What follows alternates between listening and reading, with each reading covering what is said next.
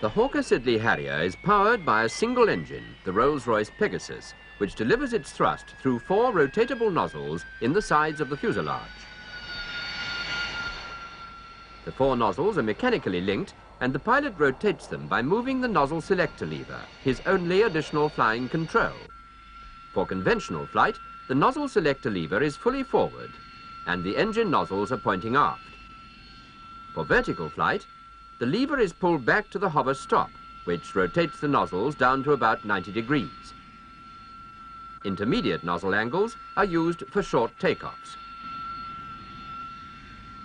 The nozzles can also be rotated a few degrees forward past the vertical to give reverse thrust. Short takeoffs are used for maximum war loads. After a short run, the nozzles are rotated downwards and the Harrier lifts off by a combination of wing lift and jet lift. The all-up weight of the aircraft determines the speed and the nozzle angle required. For this particular sortie, the required speed is 90 knots and the nozzle angle 60 degrees. The pilot presets this angle by means of a stop.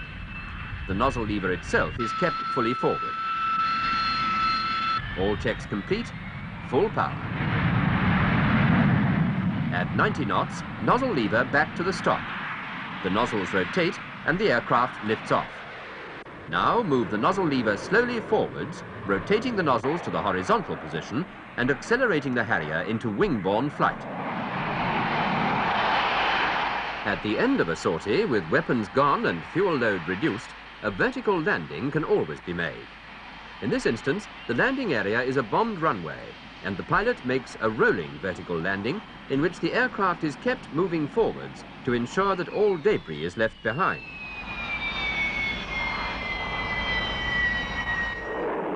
Prior to a vertical landing, the pilot makes a decelerating transition. The nozzle selector lever is drawn fully back to rotate the nozzles to the reverse thrust position.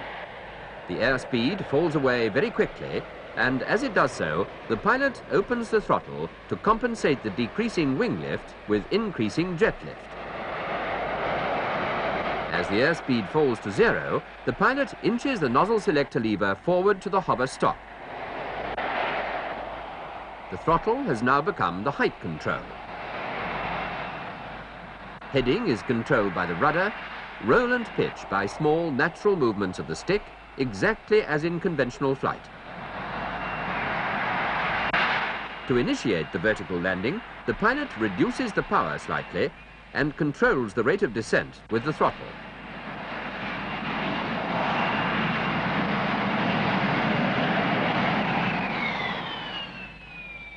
For a short landing, the pilot will reduce both height and speed during the final stages of the transition, using both wing lift and jet lift to touch down at a moderate forward speed.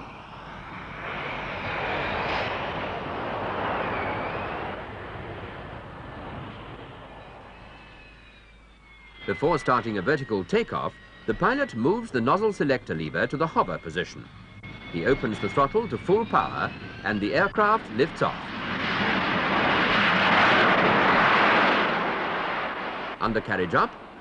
Now move the nozzle selector lever gradually forwards and the Harrier accelerates into wing-borne flight. Flying the Harrier is not difficult. The principles remain the same, whatever the environment, and pilots find they can operate with as much ease at sea as they do on land.